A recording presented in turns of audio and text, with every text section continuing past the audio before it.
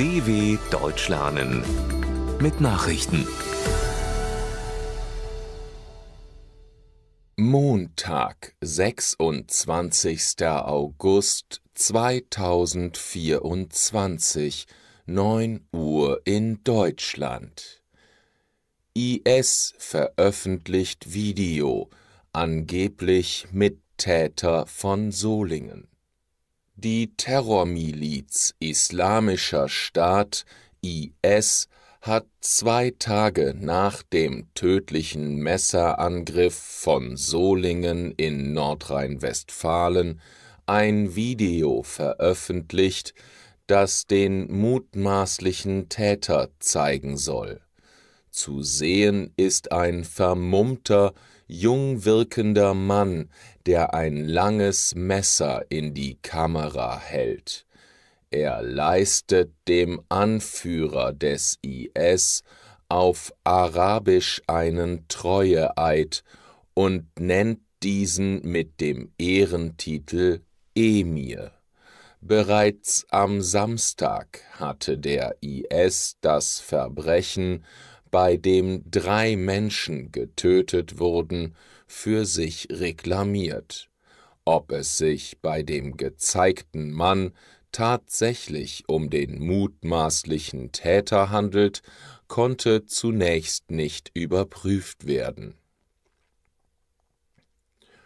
Haftbefehl gegen Tatverdächtigen von Solingen nach dem tödlichen Messeranschlag in der westdeutschen Stadt Solingen sitzt ein festgenommener Syrer nun in Untersuchungshaft. Nach Angaben der Generalbundesanwaltschaft in Karlsruhe wird dem 26-Jährigen neben Mord und versuchtem Mord auch vorgeworfen, Mitglied der Terrormiliz Islamischer Staat zu sein. Bei dem Attentat wurden am Freitagabend auf dem Solinger Stadtfest zwei Männer im Alter von 67 und 56 Jahren sowie eine 56-jährige Frau erstochen. Acht Menschen wurden verletzt, vier von ihnen schwer. Der Generalbundesanwalt übernahm die Ermittlungen, nachdem sich der IS der Tat bezichtigt hatte. Der Verdächtige hatte sich am Samstagabend selbst der Polizei gestellt Belarus zieht Truppen an Grenze zur Ukraine zusammen. Die ukrainische Regierung hat die vom Nachbarland Belarus vor einer Woche angekündigte Truppenverstärkung an der gemeinsamen Grenze bestätigt. Nach Angaben des Außenministeriums in Kiew wurden in der Region Gomel in Belarus neue Einheiten mit Panzern, Artillerie und Flugabwehr beobachtet. Es seien auch Söldner der ehemaligen russischen Privatarmee Wagner erkannt worden. Das ukrainische Außenministerium rief die Regierung in Minsk auf, unter dem Druck Moskaus keine tragischen Fehler zu begehen. In einer Erklärung hieß es, die Ukraine habe niemals feindselige Handlungen gegen das belarussische Volk unternommen und werde dies auch nicht tun. Nordkorea testet neue Drohne.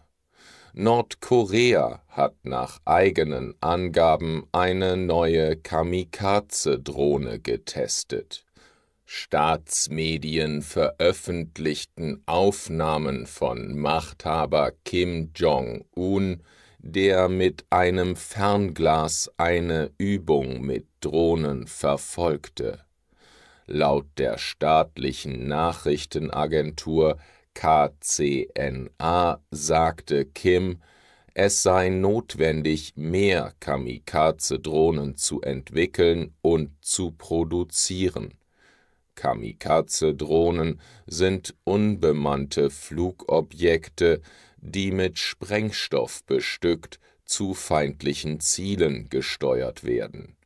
Auf offiziellen Fotos von KCNA ist zu sehen, wie weiße Flugobjekte mit X-förmigen Flügeln in Richtung Panzerattrappen fliegen und explodieren. Laut der südkoreanischen Nachrichtenagentur Yonhap waren die Zielobjekte südkoreanischen Panzern des Typs K2 nachempfunden. Dänemark will Engagement in Afrika ausweiten. Mit Blick auf den gewachsenen Einfluss Chinas und Russlands auf dem afrikanischen Kontinent will die dänische Regierung ihre Politik ändern Außenminister Lars Løkke Rasmussen und der Minister für Entwicklungszusammenarbeit und globale Klimapolitik Dan Jørgensen wollen dazu an diesem Montag eine neue Afrika-Strategie vorstellen. Nach Ansicht der Regierung in Kopenhagen muss sich Europa verstärkt auf die Zusammenarbeit mit afrikanischen Ländern konzentrieren. Dänemark will sein Engagement in Afrika entsprechend ausweiten. Das nordeuropäische Land gehört neben Deutschland zu den fünf Staaten, die als einzige mindestens 0,7 Prozent des Bruttonationaleinkommens für Entwicklungshilfe aufwenden. Das hatten alle Industriestaaten 1970 den Vereinten Nationen versprochen. Harris sammelt Rekordsumme die Demokratin Kamala Harris hat für ihren US-Präsidentschaftswahlkampf bereits mehr als eine halbe Milliarde Dollar an Spenden gesammelt. Innerhalb von gut vier Wochen seien 540 Millionen Dollar zusammengekommen, teilte ihr Wahlkampfteam mit das sei die höchste Summe, die jemals für eine Präsidentschaftskampagne in dieser Zeitspanne gesammelt wurde. Nach Angaben der Demokraten haben viele junge Leute und vor allem Frauen Geld für Harris gegeben, die als wichtige Wählergruppen der Partei gelten. Wahlkämpfe sind in den USA extrem teuer. Hohe Spendeneinnahmen spielen daher eine entscheidende Rolle beim Erfolg einer Partei. Soweit die Meldungen vom 26.08.2024. dw.com/langsame Nachrichten